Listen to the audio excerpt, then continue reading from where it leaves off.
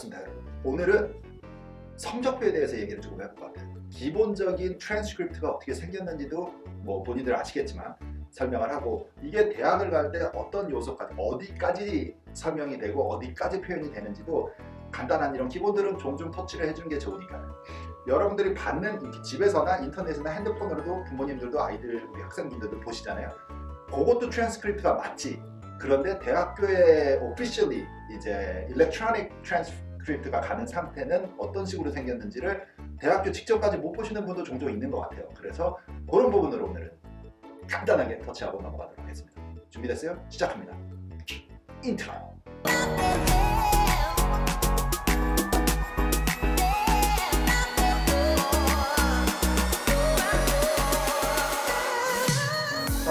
성적표에는 기본적으로 몇 가지들이 들어가지. 자, 무슨 과목을 듣는지, 언제 들었는지, 또 점수는 거기서 어떻게 받았는지 이런 기본적인 내용들이 들어가요. 근데 요것만 아마도 핸드폰이나 집에서 인터넷으로 보실 때는 요 정도만 표현이 되는 거고 그 다음에 officially 나가는 진짜로 대학교에 이렇게 electronic transfer가 돼서 나갈 때의 성적표는 약간 다른 경우도 있어요. 이건 고등학교마다 어떤 요소를 포함을 하는 학교도 있고 그냥 정말로 그 심플하게 어, 기본만 딱 표현을 하는 학교도 있고 스탠더다이즈 테스트 스코어를 트랜스크립트에 넣는 학교도 있고 안 넣는 학교도 있고 attendance라든지 아니면 어떤 뭐라 그러지 학교 벌칙이 아니라 그 disciplinary action 같은 것도 표현을 하는 학교가 있고 안 하는 학교가 있고 그런 것들에 대해서 얘기를 한번 해보겠습니다. 자 기본적으로는 아까 뭐가 들어간다 그랬지? 들어가는 것들은 무슨 과목을 들었고 언제 들었고 몇 학년 때 뭐 몇 학기에 그 다음에 거기서 어떻게 성적을 받았냐 이런 것들이 이제 기본이야. 거기에 이제 GPA가 몇이냐 이 정도가 기본인 것 같아요. 그 다음에는 disciplinary action 잘못한 어떤 뭐 처벌받은 행동들이 있느냐 그 다음에는 수상 경력 award 받은 것들이 있느냐 그 다음에는 standardized test 요렇게가 들어가는 게 학교도 있고 안 들어가는 학교도 있어요. 그걸 어떻게 알아내냐면 제가 할 수는 없잖아 본인의 학교에 오피스에 가서 printout을 한번 해달라 하든지 아니면 college guidance 선생님한테 가서 오피셜한 트랜스크립트는 어떻게 생겼는지 궁금합니다. 서 하나를 프린트 해달라고 하세요. 그러면 어떤 고등학교는 그 자리에서 그냥 해줘.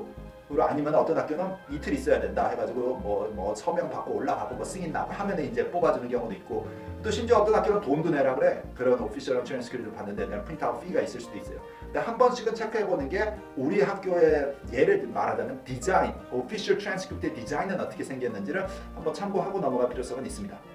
자 이게 우리는 지금 뭐 여러 군데 쓸 때 summer 이, 게 어떤 빡센 summer camp를 지원할 때도 달라는 학교도 있고 뭐 어디 인턴십 같은 걸 구할 때도 달라는 오피셜한 트랜스크립트를 내라는 회사들도 있고 research center들도 있고 할 거예요. 그런데 제일 중요한 건 어쨌든 대학을 갈 때 쓰는 거 아니에요. 대학을 갈 때 쓰는데 어느 부분까지 admission들이 이거를 들여다보냐 해석을 하냐라는 부분을 얘기를 해봅시다 자 admission들은 이 성적표에서 무엇을 찾으려고 하냐면 첫째 얼마나 강도 있게 수업들을 소화를 했느냐를 찾을 것 같아요. 성적표 보면 그게 쭉 나오니까 당연히. 자 둘째 그 과목들을 얼마나 이 후보자가 잘 이해를 하고 소화를 했느냐를 흔적을 찾으려고 그럴 것 같아요. 자 그 다음 세 번째 우리 대학교에서 후보자가 이제 신청을 한 전공이 있을 거 아니에요. 그 전공이 요구하는 prerequisite들이 있을 거란 말이야. 그 필수 요항이라 그러나 필수 항목들. 예를 들어 무슨 mechanical engineering을 전공하겠다 하면 physics가 필수일 거고 뭐 뭐 더 바보같이 설명할까? 더, 더 obvious한 거는 수학과를 전공을 하겠다면 수학을 연락 들었어야 될 것 같고. 뭐 이해되시죠? 무슨 말인지. Chinese language를 전공하려면 Chinese를 좀 들었어야지. 이런 식으로 그 전공에 빗대서 pre 우리 admission들이 요구하는 prerequisite은 다 satisfy 했냐? 이런 것도 볼 것 같고. 또 하나 마지막 거 보면은 이게 제일 예민한 건데 disciplinary action이 있냐 없냐? 자 disciplinary action은 뭐 정학을 받았냐 뭐 아니면은 퇴학 기록이 있냐 뭐 이런 거는 너무 너무 많이 간 거야 여러분들 그런 게 아니더라도 짜잘한 것들을 보면 뭐가 있냐 attendance. 자 attendance가 찍히는 학교들이 있단 말이야 성적표에. 그러면 우리 이 성적표도 여러분들 봐서 이거 위에 무슨 absence가 찍히는데 absence가 excused 어, 되는 게 있고 unexcused absence가 있고 그 다음에 tardiness가 있단 말이야. 그러니까는 선생님 허가를 받고 결석을 한 거는 몇 번? 허가 안 받고 무단결석 몇 번, 그 다음에 지각 몇 번인데 자 여러분 여기서 어떻게 해석하는지는 너무나 아비어스하지. 이게 무단 결석이 찍힌 것은 학교가 무슨 스포츠 이벤트가 있어. 그래서 뭐 마지막 피리어드과 수업을 안 하고 다 팀이 다 떠나야 돼 버스를 타고. 그런 거는 excused가 된 absence로 찍히겠지. 그래서 몇 회 이렇게 되지만 unexcused absence는 어떻게 설명을 하려고 그러니? 그냥 아침에 늦잠을 자서 안 간 거든지 아니면은 그냥 미쳐가지고 수업을 땡땡이 챙겨 그렇게 해석이 되는 게 1순위란 말이지. 그게 아니면 어떻게 오다 해명을 해?